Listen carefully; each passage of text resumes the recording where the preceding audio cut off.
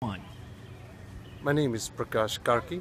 I'm a physician here in Terre Haute and I've been living here for the last 12 years.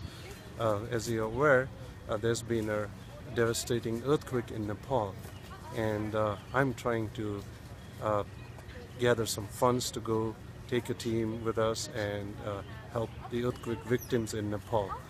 Um, so far there have been 7,000 people dead, but I believe the figure will be much higher.